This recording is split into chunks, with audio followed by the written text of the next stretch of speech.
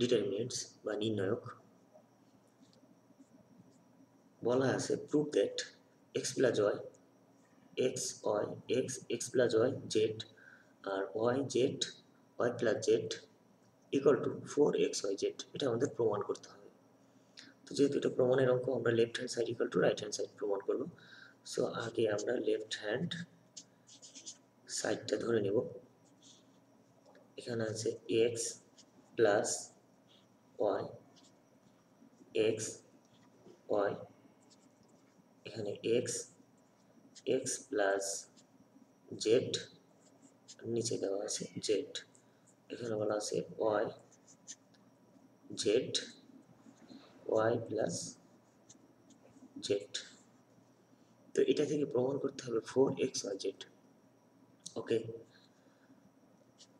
Equal to তো এখানে four Y x Y Z করতে গেলে আসলে এখানে তেমন কিছুই করা যাচ্ছে তো করা যাচ্ছে না। তো নির্ণায়কের ক্ষেত্রে একটা জিনিস মনে রাখতে হয় সবসময়, যখন আমরা কোনো কিছু যোগ বিয়োগ করে আমরা প্রমাণ করতে না পারি, তখন আমাদের শেষ উপায় হিসেবে যেটা করতে হয় সেটা কি? সরাসরি গুণ করে দিতে হয় নির্ণায়কের। তাহলে আমরা এই মানটা পেয়ে যাই। সো এখানে আমরা সরাসরি গুণ করব। তো প্রথমে গুণের ক্ষেত্রে উপরের যে মানগুলো আছে, অর্থাৎ রোগুলো নিয়েই কার্যক্রম শুরু করতে হয় তো সেক্ষেত্রে আমরা এক্স প্লাস ওয়াই নিব। একটা নির্ণায়কের মান নিব। মাইনাস এক্স আবার একটা নির্ণায়কের চিহ্ন নিব। প্লাস ওয়াই নিয়ে আরেকটা নির্ণায়কের চিহ্ন নিব। জাস্ট চিহ্নটা হবে এরকম প্লাস মাইনাস প্লাস আর উপরের রোটা যেটা থাকবে, প্রথমে এক্স আছে, আমরা এক্স ওয়াই নিলাম, পরে এক্স আছে এক্স নিলাম, তারপরে ওয়াইটা নেব। আচ্ছা যখন এক্স ওয়াইটা নেব, তখন এক্স ওয়াই সোজা রো কলাম সব বাদ যাবে।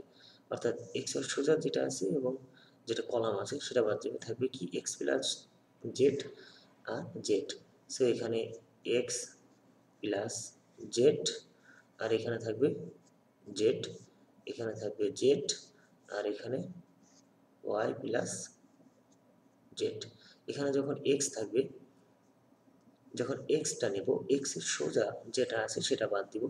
এক্স আর জেড থাকবে এখানে। এক্স জেড আর ওয়াই ওয়াই প্লাস জেড এখানে থাকবে ওয়াই এখানে ওয়াই প্লাস জেড যখন ওয়াই নেব, অর্থাৎ এই ওয়াইটা যখন নেব ওয়াই সোজা যা আছে সব বাদ যাবে থাকবে এক্স আর এখানে থাকবে এক্স প্লাস জেড ওয়াই আর জেড তো এখানে থাকবে ওয়াই আর এখানে থাকবে জাস্ট জেড তো এখানে এক্স প্লাস ওয়াই রাখলাম। এবার যদি আমরা এখানে গুণ করি, তো এক্স দিয়ে যদি গুণ করি, প্রথমে এটা দিয়ে এটাকে গুণ করব, তারপর মাইনাস এটা দিয়ে এটাকে গুণ করব। তো এক্স দিয়ে যদি গুণ করি, তাহলে এখানে হবে x y minus x z তো আমরা প্রথমে এক্স দিয়ে দুটোকে গুণ করলাম। এবার জেড দিয়ে আবার দুটোকে গুণ করব plus y z plus z square, এখানে মাইনাস জেড তার স্কোয়ার। মাইনাস কেন? আমরা আগেই বলছি যে এর গুণটা এরকম এইটা গুণ এইটা মাইনাস এই জেড গুণ জেড এই জন্য মাঝখানে মাইনাসটা বসালাম। মাইনাস এক্সটা নিব।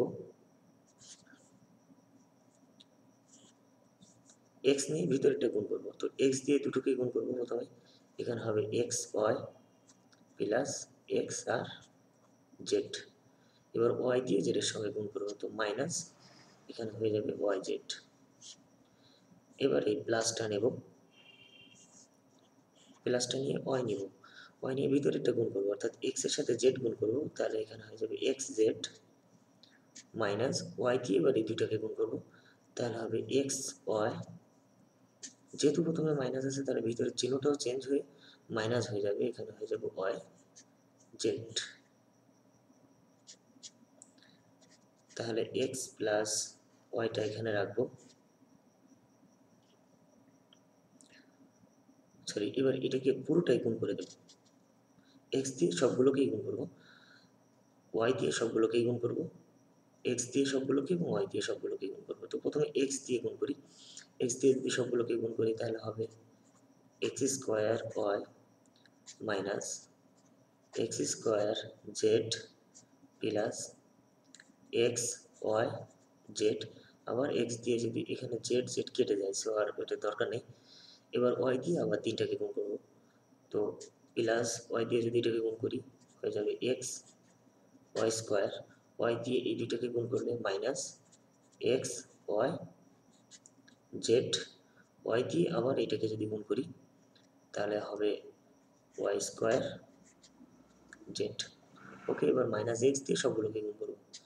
তো মাইনাস এক্স দিয়ে প্রথম এটাকে গুণ করলে হবে এক্স স্কোয়ার ওয়াই এক্স দিয়ে দুটোকে গুণ করলে হবে মাইনাস এক্স স্কোয়ার জেড আবার এই এক্স দিয়ে যদি দুটোকে গুণ করি, তাহলে হবে minus x y z plus y দিয়ে যদি সবগুলোকে গুণ করি আবার, তাহলে এখানে হবে x y z minus y দিয়ে এটাকে গুণ করব, তাহলে x y square minus y দিয়ে আবার ওয়াই জেডকে গুণ করব।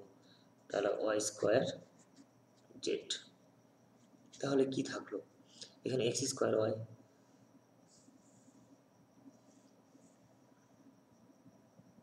x square y minus এটা প্লাস কেটে যাবে। X square z x square z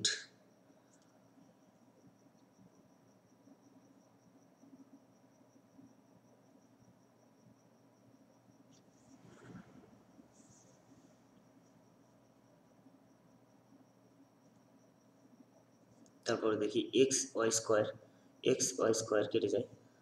আর এখানে y square z y square z এই ওয়াই স্কোয়ার জেড এটা প্লাস মাইনাস সবগুলো কেটে যায়। থাকে শুধু x y z x y z x y z চারটা এক্স ওয়াই জেড থাকে।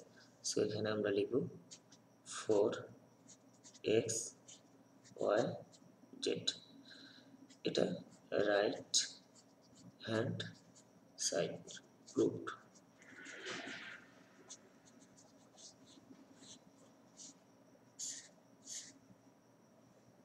অঙ্কটা বিবি এর জন্য খুব ইম্পর্টেন্ট কারণ এই অঙ্কটা বেশ কয়েকবার বিভিন্ন জাতীয় বিশ্ববিদ্যালয়ের পরীক্ষায় বিবি এর পরীক্ষায় এসে গেছে। এই জন্য এটা আবার প্রমাণ করে দেখালাম, একটু আলোচনা করলাম।